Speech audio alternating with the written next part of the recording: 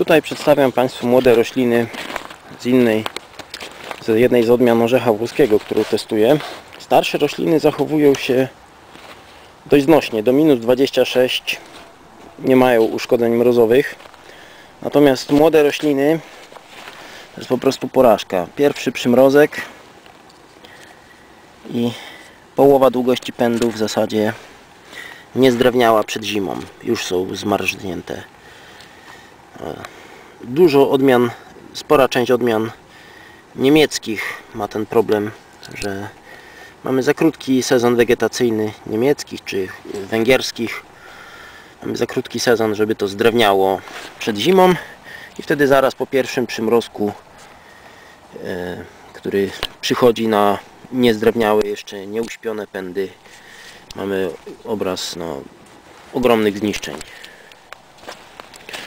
Dolna część roślin będzie zapewne żyła i te rośliny będą regenerowały się.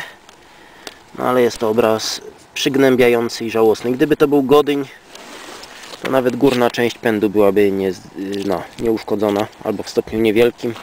A tutaj 3 czwarte pędu zmarznięte do dołu. No tego typu odmiany są wątpliwej jakości w naszych warunkach klimatycznych. W momencie, gdy przymrozek pierwszy przychodzi później, koniec października, co się zdarza w niektóre lata, to to drewnienie wygląda inaczej, lepiej. No a tutaj nie ma po prostu na co patrzeć. Podobne problemy są z Wunder von Monrepo, czasami z Milotajem, dziesiątką, jedna sieczka.